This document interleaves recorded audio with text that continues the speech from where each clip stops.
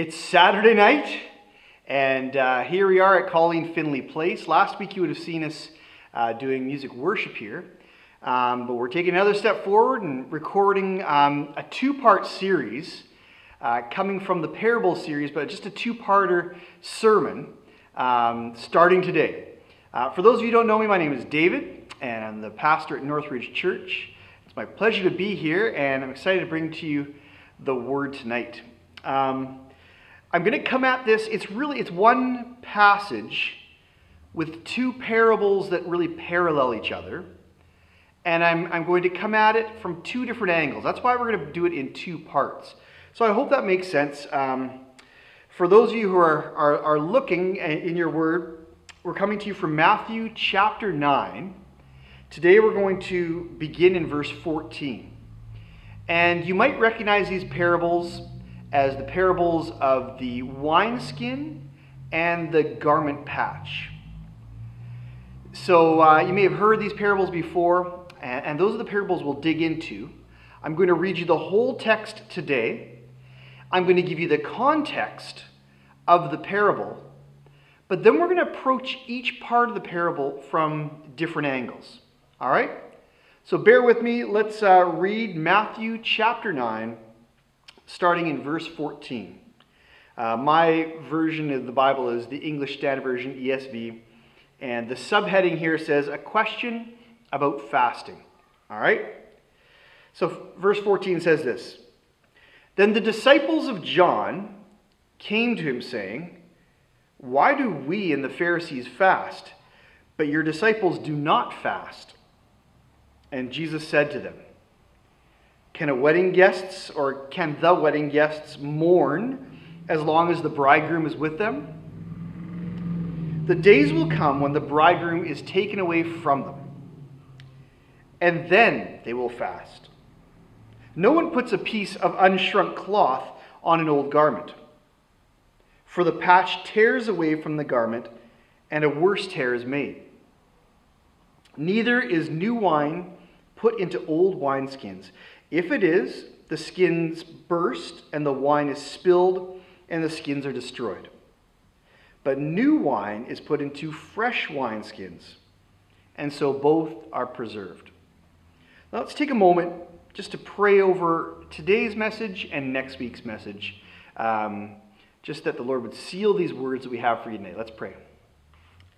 Heavenly Father, we come to you um, humbly knowing that our words are flawed and, um, and, they lack the perspective that you have. You are omniscient, that means you know everything. Uh, your word describes you as the Alpha and the Omega, the beginning and the end. You've seen everything. You're omnipotent. You, you, are, you are all powerful. All of these things are true about you and not about me or any preacher. So we approach the word humbly, knowing that it is your word, though. And your word says that it won't return void. And so, Lord, we bring to you, uh, we bring the word today. We're going to share the word and expound on the word, uh, but pointing towards you as, as the giver of the word. We're thankful for it and pray you bless this. In Jesus' name, amen. All right. So, as you can see, again, today we're going to give you the context of both um, parables. And we're going to focus on the first of the two parts of the parables, okay? Um, actually, we're going to gloss over one part of a parable, and then we're going to look at the, the second parable, which is going to be our parable for the week. The, the story picks up with the disciples of John. They're the ones that actually come and ask the question. Uh, and, and you need to understand that there was a tension at this time because John had quite a, a following and people were attracted to him as a leader. Despite the fact that John kept pointing towards the one that would come, and then when Jesus came, he pointed to Jesus, saying, This, this is the one I've been telling you about. But still, the disciples of John kind of had a different path than the disciples of Jesus. And it was these disciples of John who came to Jesus and asked him a very straight up question. And they say, like, why do we and why do the Pharisees fast, and yet you and your disciples don't? Now, again, many of you know who the Pharisees were, but uh, simply put, the Pharisees were the law followers. These people did everything the right way, which sounds good, except for they liked to let everybody know that they were doing everything the right way. So they followed the law to the letter of the law. They would be the ones where everything's black and white, and if you crossed over the line, they would hammer you as quickly as they could. They were all about preserving the law. They loved the law. And the law said that they were to fast, and so they would fast. And, and the question is really simple. It's like, why are we fasting, but you guys aren't fasting? And you know what? I've, I've wrestled with this. This could be perceived one of a couple of ways. This could be an innocent question, like, well, should we be doing this? Is this, is this something for us to do as well? But more likely, it was kind of a case where they're, they're scrutinizing Jesus a little bit. They're, they're kind of like, well, hang on. Why, why do we go through this? And, and just to be clear, they would fast me once, twice a week, go the entire 24 hour day without eating. And, and it, was, it was hard on them. Like, why are we doing this, but, but you and your disciples aren't doing it? Jesus had, I would say, a simple answer, but in a very convoluted way. The first part makes a lot of sense. He says, Can the wedding guests mourn as long as the bridegroom is with them? It would make no sense. If you go to a wedding and you start crying, just sobbing uncontrollably over the groom when the groom is right there at the wedding, it makes no sense. In the same way, Jesus is saying, yeah, you don't, don't fast and pray to, to some abstract idea of me when I'm right here. She says, just pray to me, come to me, talk to me. I want to have a relationship with you. So he's saying that, that there will be a time, actually, goes on to say it right after this, that the, the days will come when the bridegroom is taken away from them. This is foreshadowing for the time when Jesus is crucified on the cross and taken to heaven.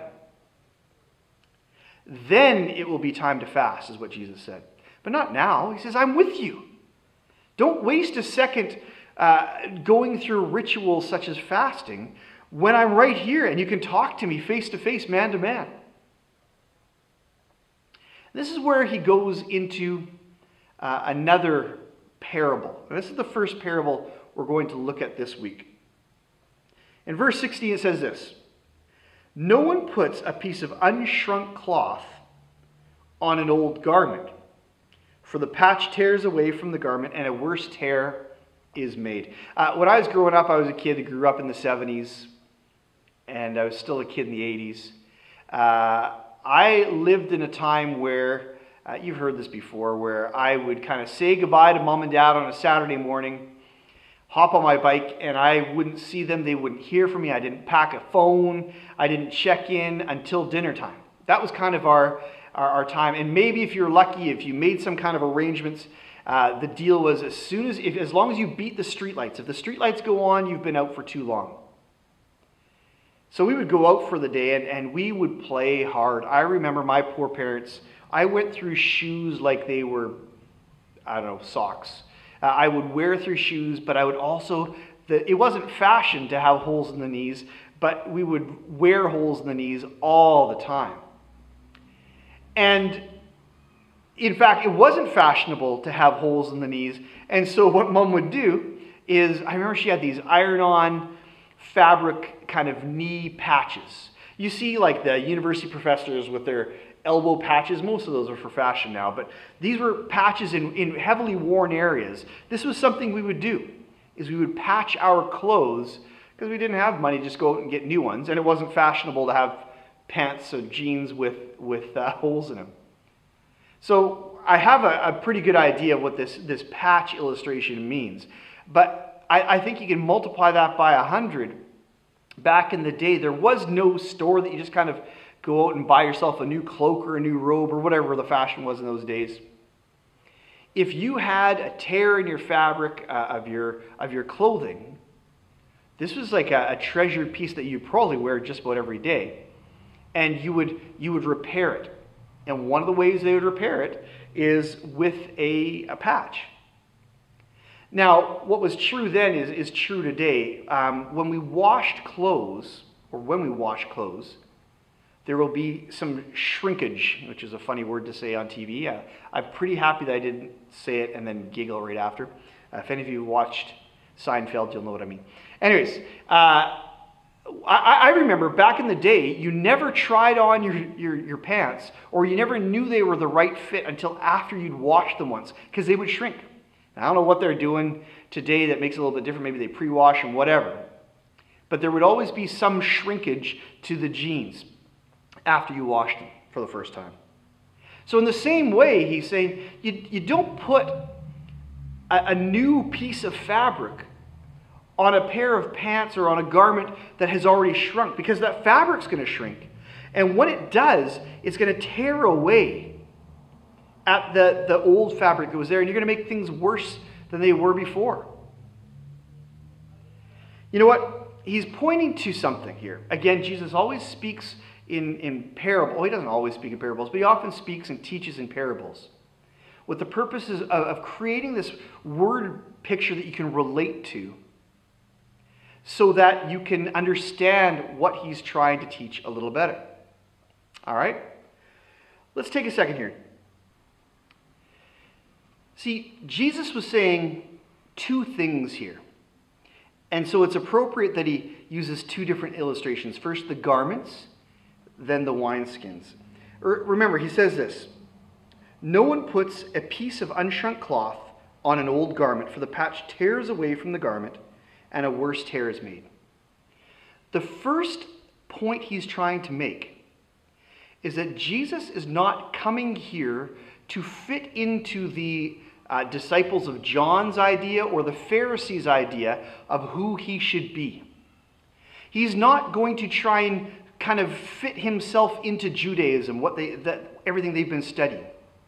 He doesn't want to fit into the box they have prepared for the Messiah. He is bringing something completely new. And he doesn't want to piecemeal it together. He doesn't want to patch. This is not like a, a, an upgrade or what do you call them? An update on your app. This is not the Jesus update where, okay, now you're up to date. You've got everything. You, you were a little off track here, but now you're completely up to date. He's coming in to do something completely different. And so don't just try and take the Jesus patch over your old clothing. Because it's just not going to work. So, this may seem short, uh, and I'm really excited. I kind of just want to go right into the next point. But I want you to chew on this idea that when we travel from the Old Testament in time to the New Testament, this time that Jesus comes and lives amongst us and, and brings this new teaching, He's not just bringing this new layer, this new filter, this new update to God's word for us. He is bringing, he is something completely new, something completely different. And we, we need to kind of break free from the old molds of what we thought we knew and encounter Jesus fully. I, I, feel like I'm kind of leaving you hanging here. And I'm super excited about how this news affects us next week. Uh, but all I can do is ask you to come back when we revisit this section of Scripture and talk about the wineskins. So until then, be blessed, and we'll see you next week.